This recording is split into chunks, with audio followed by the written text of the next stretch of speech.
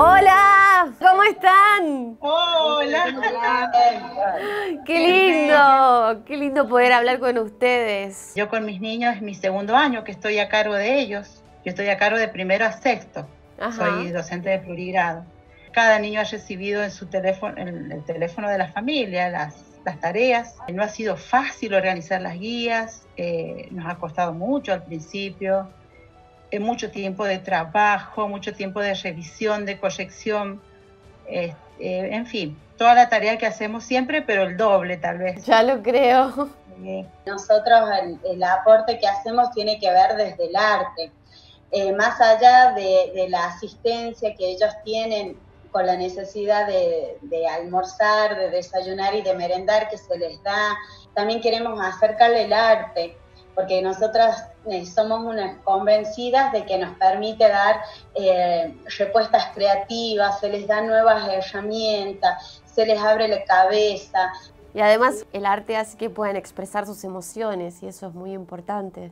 Y en esta época de cómo se están llevando a cabo las clases y esto, a ustedes les pregunto a todos, ¿les ha pasado que se han enterado de más cuestiones familiares o personales de los niños que antes quizás no, no les ocurría? Nosotros somos de un pueblito muy chiquito de- de- del sur de Santa Fe, Chañar Ladeado. Chañar ladeados. Nosotros hacemos todos por WhatsApp y somos familia, ya te digo, porque mi papá me dice, bueno, mira, tengo cinco chicos, está trabajando uno porque el otro se queda a cuidar a los chicos, necesitamos eh, ropa de, de abrigo y hacemos una mini cadena entre todo el grado y bueno, buscamos abrigo eh, y bueno, así nos vamos como tendiendo puentecitos entre todos. Los chicos respondieron. Lo positivo, extremadamente positivo, fue que los papás se hicieron cargo de su salud.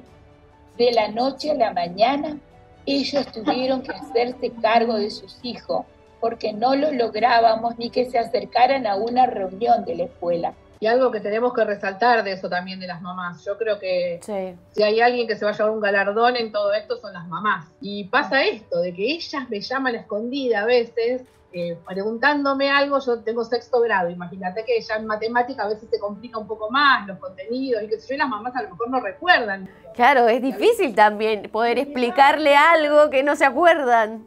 Claro, ¿me podés explicar así yo le explico? Digo, a mí eso, para mí eso es maravilloso, porque en otra época o en otro momento, en otra situación, eso no lo hubiésemos logrado. Algo positivo también de la relación eh, generacional, que también muchas veces ha estado, eh, no estaba una cosa en un lado, la otra en otra, y esto, el, de unir los saberes, el de poder escu- aprender o reaprender a- a escucharnos, a, a la aceptación, al, al descubrir que el otro tiene un saber que yo puedo desarrollar, pero que no lo tengo, aceptar que no lo tengo. Claro. Entonces, eh, eso también, eso también es enriquecedor.